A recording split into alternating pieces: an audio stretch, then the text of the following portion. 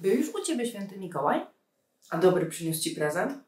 Bo wiesz, jeśli prezent nietrafiony, to nic straconego. Do tych, którzy mówią po angielsku, święty Mikołaj przychodzi nie 6 grudnia, ale w Boże Narodzenie. Więc wystarczy tylko mówić po angielsku i prezent dopiero będzie na Ciebie czekać. Mam nadzieję, że tym argumentem przekonam Cię do nauki angielskiego. A na dzisiaj przygotowałam dla Ciebie odcinek o świętym Mikołaju, o tym, dlaczego on zmienił wygląd, porzucił ten tradycyjny biskupi strój i wygląda jak krasnal z coli. Czy Coca-Cola jest odpowiedzialna za to wszystko? Czy może nie do końca? No jak zwykle garść słówek związanych z Mikołajem i tym specjalnym, wyjątkowym czasem. Zapraszam Cię do oglądania. Dlaczego Mikołaj, którego znamy, wygląda tak jak krasnal na moim swetrze? A nie jak biskup z Miry. Przecież na pewno gdzieś by udało się słyszeć tą historię o biskupie z Miry w dzisiejszej Turcji z trzeciego stulecia, który rozdał swoje bogactwo odziedziczone po rodzicach biednym, potrzebującym, najbardziej e, dzieciom i jego święto przypada w rocznicę jego śmierci. On słynął z pobożności, z hojności, z dobroci serca, został więc patronem dzieci, a także górników, żeglarzy Europy i całkiem długa lista. Jego święto obchodzone jest w kościele, a przez większość rodzin przez prezenty właśnie 6 grudnia. Ale w tradycji anglosaskiej Mikołaj wcale nie przynosi wtedy prezentów, tylko w święta. U Mikołaja, tego amerykańskiego, jak się nam wydaje, urosło mnóstwo legend. legend. Przecież jest The North Pole, czyli biegun północny, jest w ogóle Mrs. Santa, czyli pani Mikołajowa. No, w głowie się nie mieści. A tamte historie kwitną jak najbardziej. Jego elves, czyli elfy, and Toy Factory i cała fabryka zabawek właśnie on the North Pole. Reindeers, Rudolph the Red-Nosed Reindeer jest Rudolph, ten czerwono-nosy, red-nosed reindeer, można powiedzieć, jak niebieskooki, blue-eyed, red-nosed reindeer, czerwononosy renifer, Santa's sleigh, canie Mikołaja flying over the sky.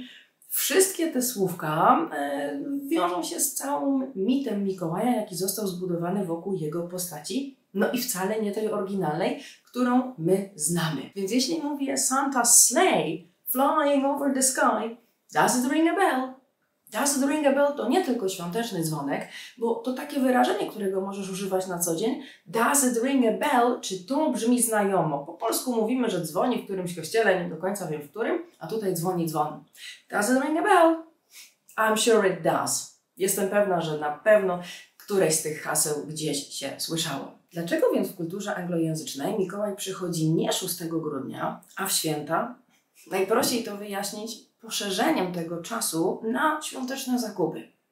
Pierwszy Mikołaj na amerykańskiej ziemi przyszedł do potomków imigrantów, rodzin holenderskich, które osiedliły się w Stanach.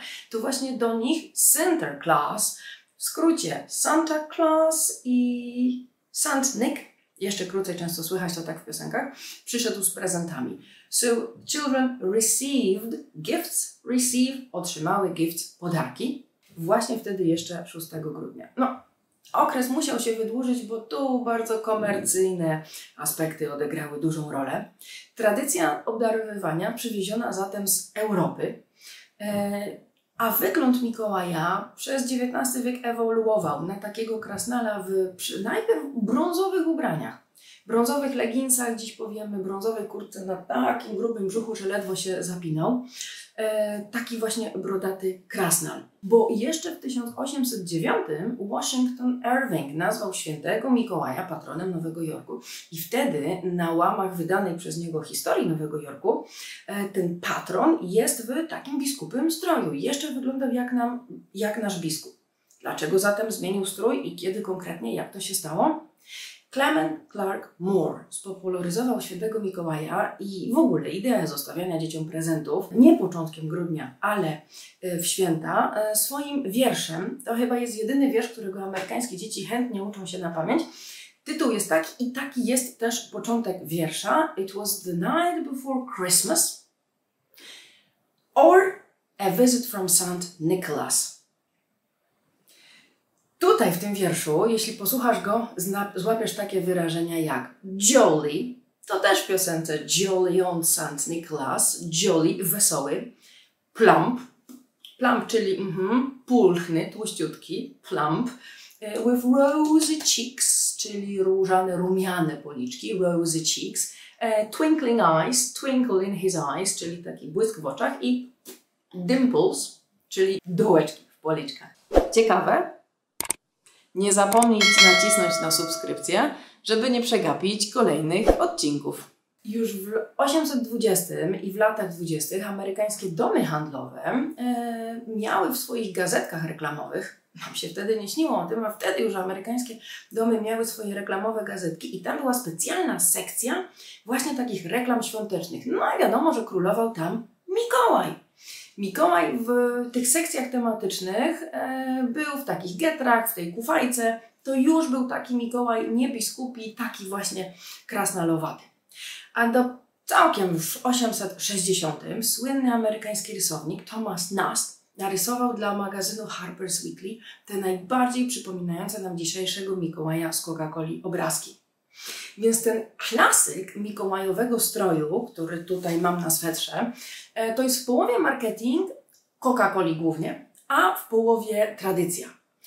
1920 to jest właśnie rok, w którym Coca-Cola wypuszcza pierwszą reklamę z takim e, Mikołajem, z tym, co teraz uważamy za klasyk. Co ciekawe, już wcześniej takim Mikołajem próbowała swoje produkty reklamować pewna firma produkująca wodę mineralną i inne imbirowe napoje, nie chwyciło. It didn't catch on. Nie załapało, nie chwyciło. Well, with Coke it did. A z kolą tak. Tu chwyciło na pewno. Więc ta rumiana twarz Mikołaja, y, popijającego, sączącego sobie kole, którą znamy do dziś, pochodzi z 1931 roku. To jest ten pierwszy kolowy Mikołaj. On jest pod ręki Sandbluma e, i on się cieszy popularnością na całym świecie. Ten wizerunek powstał w latach e, w Ameryce panującej Great Depression, czyli takiego głębokiego kryzysu, w którym kola chciała ludziom, chciała swoim klientom dać coś e, nowego, coś świeżego zupełnie, coś realistycznego, dlatego on jest taki, taki ludzki, a z drugiej strony coś trochę bajkowego, z nutką nostalgii, no, chyba im się to udało, bo pomyśl, ten Mikołaj, którego znasz, na pewno gdzieś widziałeś, widziałaś, ma już prawie 100 lat. Więc Sandblum nie wymyślił tego kolowego Mikołaja od zera, zupełnie z głowy. Nie stworzyła go Coca-Cola, e, tylko miał już w kulturze amerykańskiej zakorzeniony właśnie taki krasnalowaty y, wzorzec. Coca-Cola broni się do dzisiaj, że y, no, Mikołaj już był prezentowany na czerwono, więc akurat tak się składa, że logo Coca-Coli i strój Mikołaja no, są w tym samym kolorze. No, tak to akurat wyszło. Chyba tak, bo y, początkowo brązowe stroje Mikołaja w, no, w przedrukach, w, w książeczkach z tamtych czasów, y, no, te kolory jeszcze różnie wychodziły. Czasem to, co miało wyjść y, brązowe, robiło się jaśniejsze i wychodziło czerwonowawe. Ta wersja Mikołaja, którą znamy z Coli, my ją znamy ze Stanów, ona ugruntowała e, reklamami pozycję właśnie tego wizerunku na świecie i wyparła wszystkich e, chudych, srogich, e, wysokich i takich spoglądających czy ktoś był naughty, czy ktoś był nice, czyli naughty, niegrzeczny, nice, dobry, miły, grzeczny. E, takich Mikołajów w zasadzie e, w Ameryce nie widać. Czy pamiętasz w ogóle reklamy Coca-Coli z lat 90.? Polar bears drinking Coke on the North Pole. Misie polarne. North Pole, już znasz, biegun północny. Fake cola trucks coming. Fake, fejkowe, yy, wymyślone, udawane ciężarówki z kolą przejeżdżające i tam była taka piosenka Holidays are coming, holidays are coming. No, Does it ring a bell? Brzmi znajomo? I tam na koniec, jak już tam coraz bliżej święta, w oryginale Holidays are coming, to też nie są nazywane jakie święta, to po prostu są holidays, are coming, nadchodzą.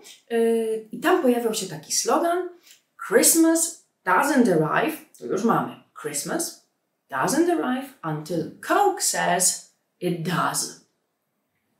Czyli w tłumaczeniu święta nie przybędą, a szkola powie że tak. So, czy Coli dzięki manipulacji Mikołajem, misiami polarnymi i oświetlonymi ciężarówkami udało się stać nieodłączną częścią Bożego Narodzenia. Daj mi znać w komentarzu, czy u Ciebie będzie kola na święta.